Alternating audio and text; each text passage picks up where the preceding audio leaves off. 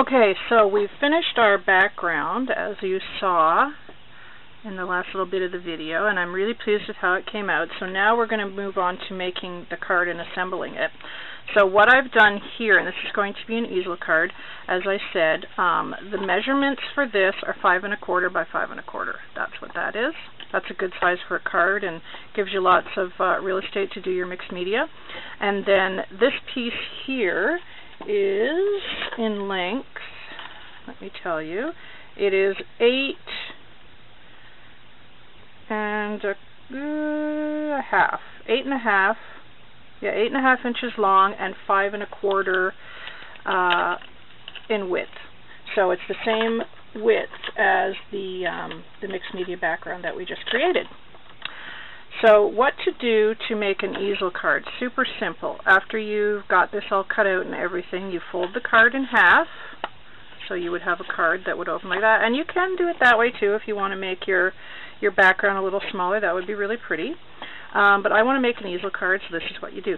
So eh, so easy. You folded it in half, and then you take the top piece that you folded, and you fold that in half.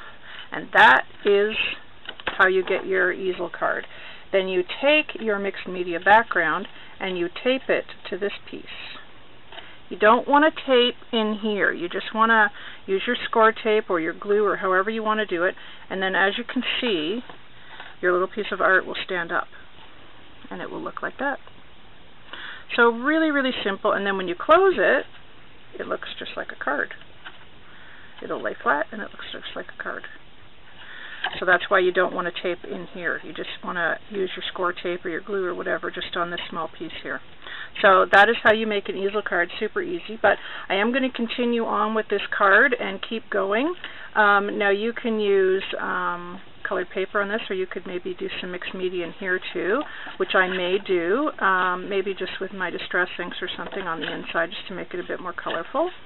Um, but yeah, that's basically it, how you do the easel card. So I'm going to end the video here, and I will come back with part two of this, and then we will um, continue on and finish up the card and get it decorated and all that kind of good stuff. So stay tuned for part two. I will be back. Bye-bye.